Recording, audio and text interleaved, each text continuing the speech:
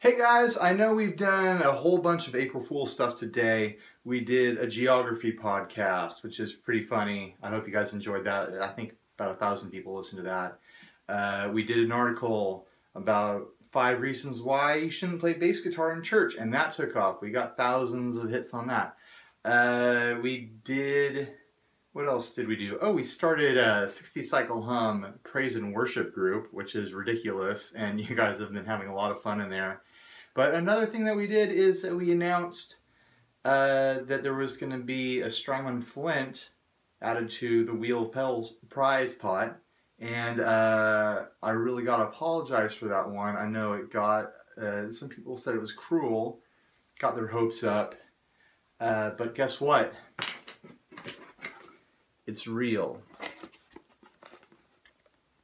Strymon actually sent this to us for the Wheel of Pedals. They're very kind to do this. It's our first, I guess what you'd call a sponsored prize for the wheel. Uh, I haven't even taken it out and played with it yet.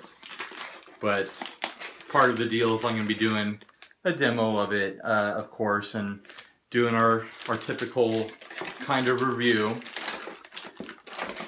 So that really sweetens the pot for the for the wheel of pedals for sure. Um, we'll be doing a drawing the next time we record the podcast in about a week.